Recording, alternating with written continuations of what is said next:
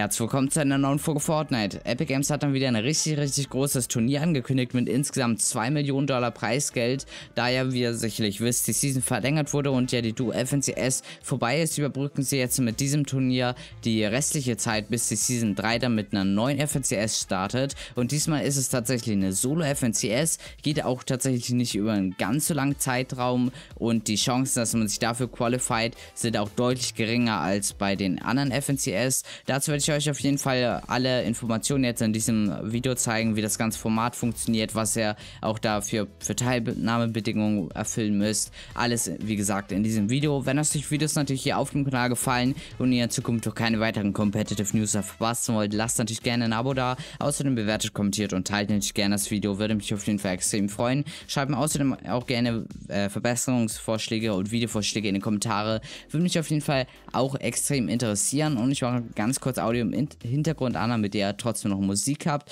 Und ich würde sagen, wir lesen uns, lesen uns jetzt mal ganz kurz den offiziellen Blogpost durch. Der kam tatsächlich schon am 17.04. raus. Allerdings wurde das gestern erst alles so wirklich verbreitet. Also davor gab es im Prinzip gar nichts darüber, weder auf Social Media noch irgendwo anders.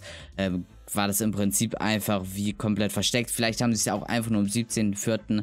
geschrieben und eben halt auch erst gestern tatsächlich veröffentlicht. Weiß ich natürlich nicht ganz genau. Aber auf jeden Fall ist das ganze Thema erst seit gestern wirklich bekannt. Und äh, wie gesagt, das ist eine Solo-FNCS, wo, wie der Name das auch schon sagt, tatsächlich schon manche Spieler jetzt qualified sind, ohne überhaupt eine Runde dafür gespielt zu haben. Und zwar sind das die besten 100 Spieler einmal aus Kapitel 2 Season 2 Kategorie PC, 100 Spieler nochmal Konsole und Mobilgeräte, dann 100 Spieler aus der letzten und 100 Spieler aus der vorletzten Season, sowie 100 Spieler, die dann nochmal durch Direkteinladung von Epic Games da äh, zukommen werden. Und dann können sich auch noch 100 Spieler, natürlich immer pro Region, aus der besten Liste der offenen Qualifikation qualifizieren. Und das Ganze beginnt tatsächlich schon nächstes Wochenende, also am 3. Mai müsste es glaube ich sein. Dort beginnt dann schon die erste Runde. Dann ähm, werde ich euch jetzt einmal kurz die ganzen Termine dafür sagen. Wie gesagt, ab nächsten Wochenende beginnt die offene Qualifikation. Dazu muss man natürlich äh, Champion Division sagen, wie der Name Champion Series ja schon sagt. Außerdem natürlich Zwei-Faktor-Authentifizierung, wie generell für jeden an, wie auch für jedes andere Turnier. Das Ganze ist dann in zwei Wettkampfabschnitte unterteilt. Normalerweise ist es ja so, dass man eine offene Runde hat, dann eine Halbfinalrunde und dann eine Finalrunde für die Qualifikation. Jetzt besteht das Ganze aus insgesamt zwei Wettkampfabschnitten. Die jeweils aus 10 Runden bestehen. Das heißt einmal Samstag 10 Runden und einmal Sonntag 10 Runden. Davon werden dann aus insgesamt den 20 Runden äh, die Punkte zusammengezählt auf einer Gesamtbestenliste. Und von denen, äh, von dieser Gesamtbestenliste kommen dann die besten 100 Spieler weiter. Das heißt, man kann zum Beispiel, wenn man am ersten Tag vielleicht nur eine, Durchschnitt, eine durchschnittliche Leistung erbracht hat, kann man noch am zweiten Tag eine richtig gute Leistung machen und kann trotzdem noch quali qualified werden. Allerdings ist das auch nur die einzige Möglichkeit, wie man eben halt ähm, qualified werden kann, wenn man jetzt nicht so oder so schon qualified ist. Das heißt, man kann nicht über mehrere Wochen, wie ja normalerweise über vier Wochen, dann noch die Möglichkeit haben, sich zu qualifizieren, sondern tatsächlich nur über das eine einzige Wochenende. Und dann gibt es insgesamt nochmal zwei weitere Wochen die das Ganze läuft. Einmal Woche 1, dorthin kommen halt die insgesamt 600 Spieler durch die ganzen verschiedenen Qualifikationsmethoden. Das Ganze ist wieder genau das gleiche Format, das heißt wieder insgesamt 20 Runden über jeweils zwei, über zwei Tage, das heißt jeweils immer 10 Runden pro Tag. Natürlich auch wieder über drei Stunden, so wie es eigentlich bei fast jedem Cup ist. Und von denen ähm, von den ganzen Spielern hier aus Woche 1 kommen dann die besten 300 Spieler, also die Hälfte weiter in Woche 2. Hier wieder, glaube ich, genau das gleiche Wettkampfprinzip, also auch wieder insgesamt 20 Runden und so weiter und so fort. Und von diesen ähm, insgesamt 300 Spielern, die da teilnehmen, können die besten 80 Spieler ins Finale vorrücken, das dann am Ende von, vom Mai stattfinden wird. Auch wieder über Samstag und Sonntag zwei Wettkampfabschnitte, allerdings diesmal natürlich nur sechs Runden, da immer insgesamt tatsächlich nur eine einzige Runde gleichzeitig stattfindet. Alle 30 Minuten startet dann wieder eine neue Runde, so wie es ja generell bei jedem Finale von den ganzen FNCS ist.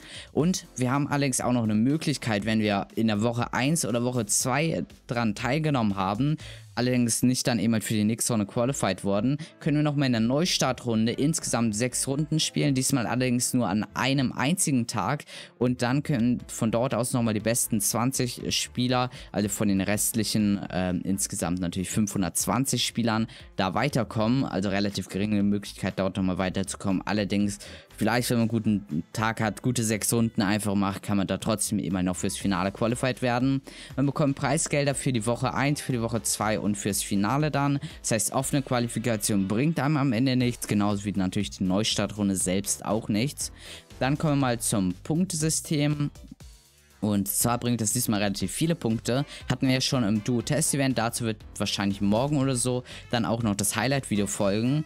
Diesmal bringen allerdings Eliminierungen deutlich mehr als ähm, Placement-Punkte. Normalerweise ist es ja so, ein Sieg ist ungefähr immer 10 Kills wert. Diesmal ist es deutlich weniger, also dann nur, keine Ahnung, habe ich jetzt nicht genau überschlagen, müssten irgendwie so 8 Runden sein. Also 8 Runden sind so viel wert wie ein, äh, 8 Kills sind so viel wert wie ein Sieg. Und man kommt tatsächlich schon das erste Placement ab dem 75. Platz. Das heißt, selbst wenn man irgendwann Midgame stirbt, Anfang Midgame, hat man trotzdem Placement-Punkte mitgenommen. Dadurch, dass ja vor allen Dingen in den letzten Runden, also im Finale und wahrscheinlich in Woche 2 auch, sehr, sehr versweatet sein wird, kann es ja sonst eigentlich sein, dass man vielleicht normalerweise dann Top 25 Placement erst in der fünften oder sechsten äh, Zone bekommt. Und so hat man eben halt so ein bisschen ja, mehr Sicherheit, weil sonst, wenn man als 26. stirbt, vielleicht richtig gut bis dahin gespielt hat, bringt es einem am Ende nichts. Deshalb finde ich es so eigentlich ganz gut. Dann gibt es ab, ab, dem 50. Platz 2 Punkte, 40. 3 Punkte, 30. 5 Punkte. Natürlich stehen hier die Gesamtpunkte, das heißt, man bekommt nicht plus 2 Punkte dann nochmal da drauf ab, ab dem 50. Und nicht für den epischen Sieg plus 33 Punkte, sondern für den epischen Sieg dann insgesamt 33 Punkte. Dann wie gesagt 15. 9 Punkte und ab dem 10. gibt es dann richtig viele Placement-Punkte. Dort bringt nämlich jeder einzelne Platz, das heißt immer wenn ihr einen Kill macht, habt ihr automatisch immer Placement-Punkte. Dann 12, 13, 14. 14, 15, 16, 17, dann hier 19, 22, 26 und dann für den Sieg nochmal weitere äh, äh, 7 Punkte. Ja, genau, 7 Punkte für die insgesamten 33 Punkte. Soweit auf jeden Fall dazu. Und ähm, dann kommen wir nochmal zu den ganzen Preisgeldern. Am Ende werde ich euch auch nochmal alles ganz kurz zusammenfassen. Auf jeden Fall bekommt man für die erste Woche, natürlich erkläre ich hier so oder so, alles nur für Europa. Diesmal ist es allerdings auch wieder ein Cross-Plattform-Cup, dadurch, dass ja in ähm, Season 1 und Season X die ganzen ähm, Konsolenspieler natürlich auch mit PC-Spielern zusammengespielt haben, ging es ja nicht anders, da man ja sonst irgendwie, ja, sonst hätten ja nur die 100 besten Spieler aus, der Letz äh, aus dieser Season daran teilnehmen können an einem Konsolen-Cup. Deshalb haben die das alles zusammengewürfelt und es gibt wieder einen Cross-Plattform-Cup. Das heißt, als Konsolenspieler wird es wahrscheinlich wieder etwas schwieriger.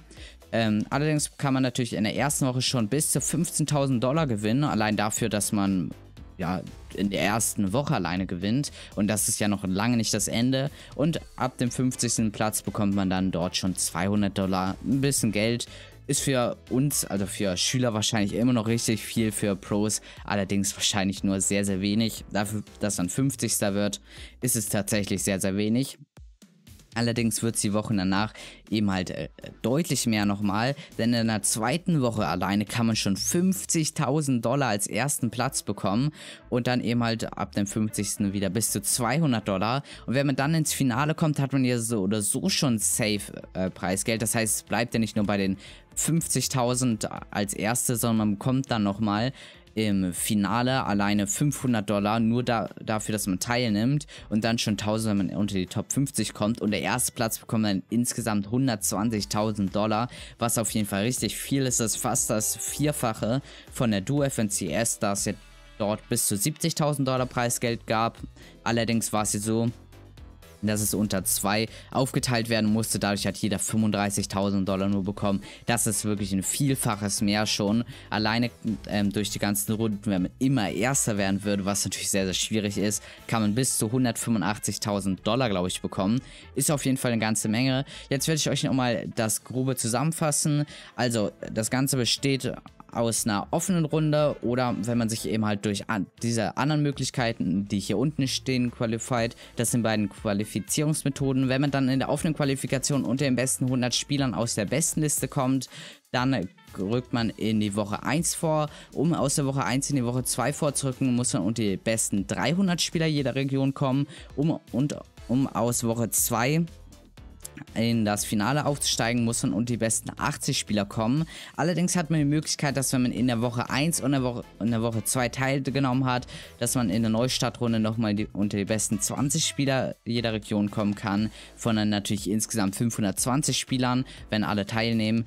Und dort kann man dann sich auch nochmal für das Finale qualifizieren. Und fast alle Runden außer der Neustartrunde bestehen immer aus zwei Tagen. Das heißt, die Runden aus den beiden Tagen werden dann zusammengezählt. Davon gibt es eine Gesamtbestenliste, wovon dann eben halt immer die besten X-Spieler weiterkommen. Das sind auf jeden Fall soweit die Informationen. Ich hoffe, euch hat dieses Video natürlich gefallen. Schreibt mir gerne euer Feedback in die Kommentare, was ich vielleicht auch noch verbessern soll. Würde mich auch extrem interessieren. Und ich hoffe, wir sehen uns dann im nächsten Video wieder. Und bis dahin, ciao.